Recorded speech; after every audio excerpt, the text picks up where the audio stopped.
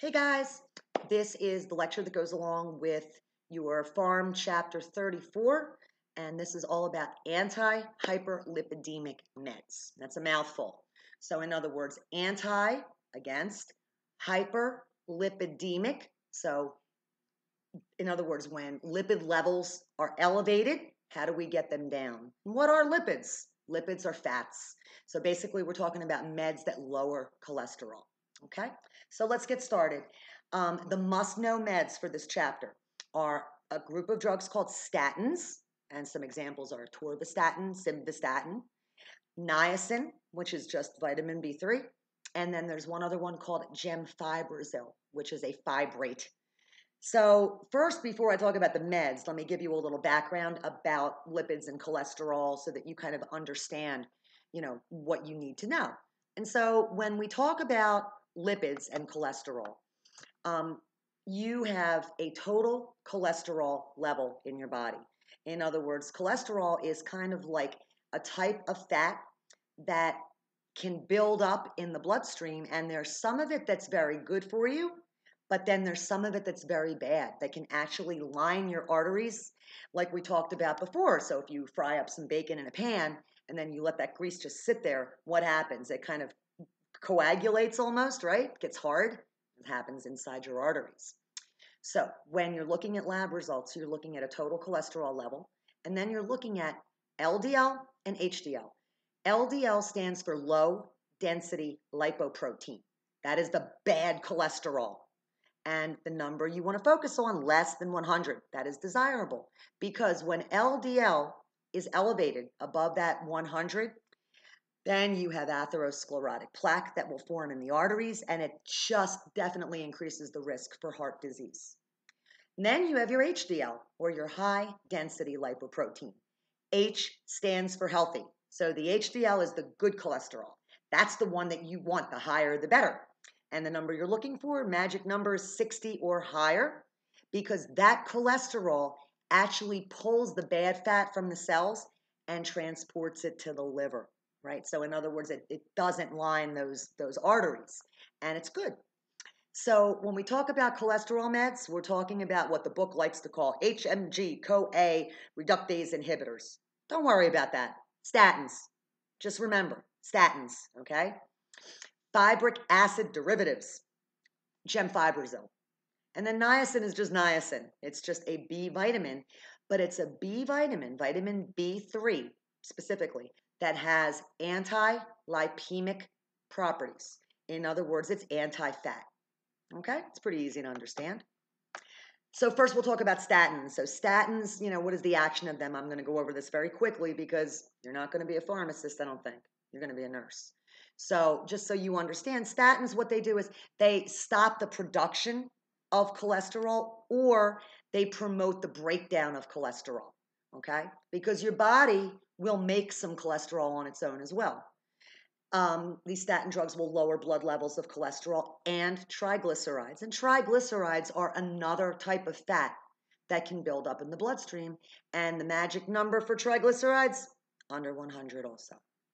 And statin drugs can actually help the HDL, the good cholesterol, be elevated, which is what you want, right? Okay. And so when we use these, these statin drugs, we, we don't just give a drug and say, here, if you take this, you can eat whatever you want. No, it doesn't work that way. So patients are supposed to watch their diet. They're supposed to stay away from trans fats, which are the, the animal fats. Anything that is is is hardened like that grease we talked about in the pan, or anything that becomes kind of liquefied at room temperature. So think about a stick of butter. If you leave a stick of butter out at room temperature, what's going to happen? It melts, right? Those are the bad fats. And so we need to make sure that their diet is appropriate and we give them the statin to help along with diet.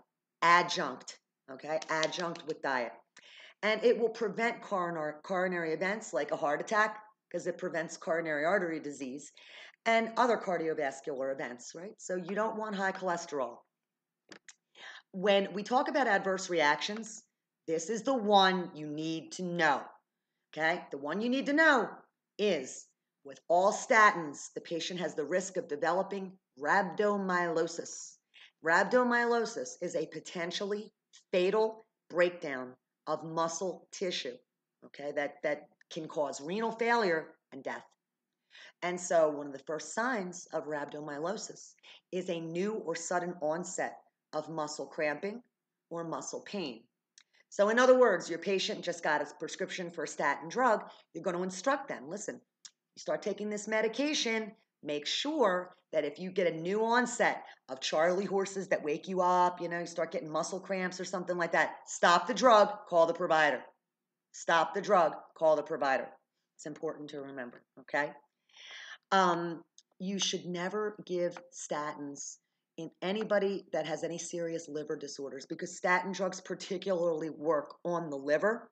So if they have liver cancer, cirrhosis of the liver, any of the hepatitis is, right? If they are an alcoholic or they drink on a regular basis, they should not be getting a statin drug. And if you're pregnant or breastfeeding, no statins for you. Okay? When we talk about drug drug interactions with statins, just know that the mycins, erythromycin and clarithromycin, um, if that's those are antibiotics, will increase the patient patient's risk of severe myopathy. And myopathy is that breakdown of muscle. Um, amiodarone, which we haven't gotten to yet, but that's a cardiac med, and niacin, if taken with a statin, can increase the risk for myopathy and rhabdomyolysis. And warfarin, the queen mother of the anticoagulants, if they're taking a statin with warfarin, they can have an increased anticoagulant effect. So, in other words, they would be a risk for bleeding. Okay? And just a couple fun facts it should be taken at bedtime. Statins should be taken at bedtime. That's when they're best absorbed. And they should not be taken with grapefruit juice. Okay? So make sure you remember that. Uh, the next one, the fibric acid derivatives, gemfibrozil. Okay? This one helps the body excrete cholesterol through the feces. So, in other words, it'll help you poop out the extra cholesterol. It also reduces production of fat in the liver and when it does all that, it lowers the serum blood levels of, of the lipids, okay? But adverse reactions. Um, a lot of GI problems, GI upset, diarrhea, nausea, vomiting. But the other two things, cholelithiasis, cholecystitis. Chole, C H O L E. We are referring to the gallbladder. Make sure you know that. C H O L E is the gallbladder. Cholelithiasis, stones in the gallbladder cholecystitis, inflammation or infection of the gallbladder. So gemfibrozil can cause those, those problems. Um, with gemfibrozil, you want to make sure that you are checking liver function tests, okay, uh, before you give it. So AST and ALT. Um, next on the list is your niacin, vitamin B3. And yes, it lowers lipids in the blood. And again, for people that have really high serum cholesterol levels or triglyceride levels, we can give them niacin as an adjunct also, in addition to.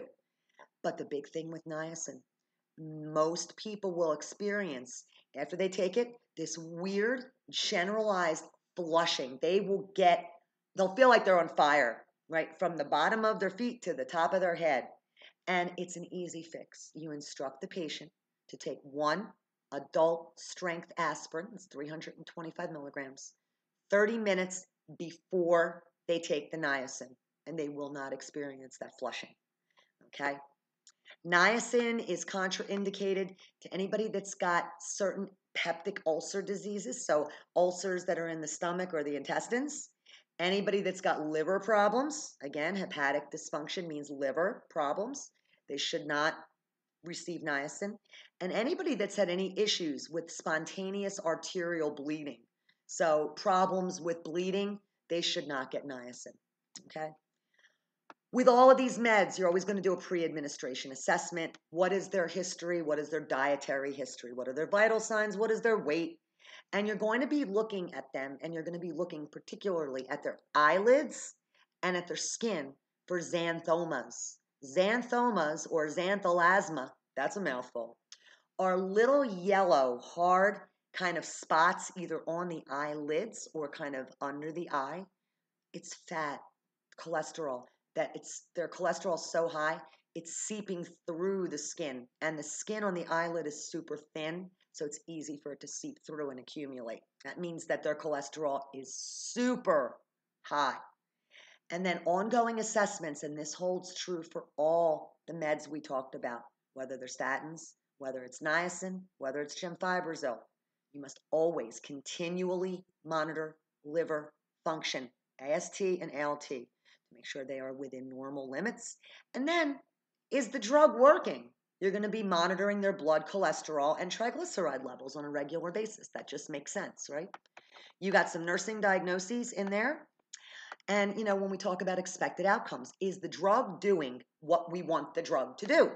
So, in other words, are their triglycerides, their total cholesterol, and their LDL lower than they were before they started the drug?